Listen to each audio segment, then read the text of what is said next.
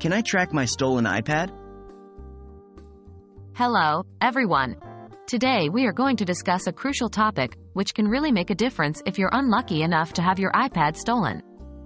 It's all about how you can track your stolen iPad. Having an iPad stolen can be a distressing experience, but Apple provides some features that can help you recover your device, or at the very least, protect your personal information. Let's dive in. What do I need beforehand?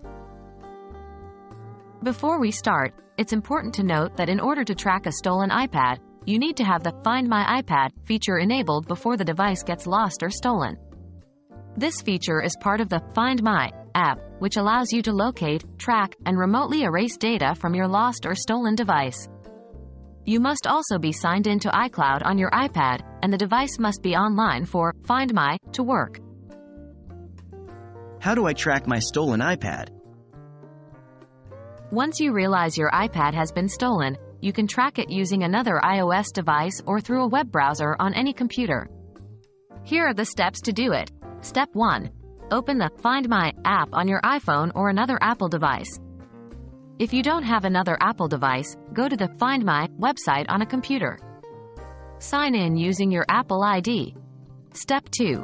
Tap on the Devices tab at the bottom of the screen. This will show a list of all the Apple devices linked to your Apple ID. Step 3. Tap on the name of your stolen iPad. You'll see a map showing the device's location.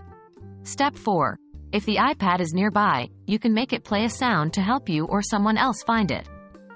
If it's not nearby, you can tap on Directions to get driving, walking, or transit directions to the device's location. What if I can't recover my iPad? If you're unable to recover your stolen iPad, there are a few more steps you can take to protect your data. Step 1. In the Find My app or website, tap on your iPad's name and then tap on Activate under Mark as Lost. This will remotely lock your device with a passcode, display a custom message with your phone number on your missing device's lock screen, and keep track of your device's location. Step 2. If you believe your device won't be returned or has been stolen, you can erase it remotely. This will remove all of your personal information from the device. Note, after you erase a device, you can't track it. If you remove the device from your account after you erase it, activation lock will be turned off.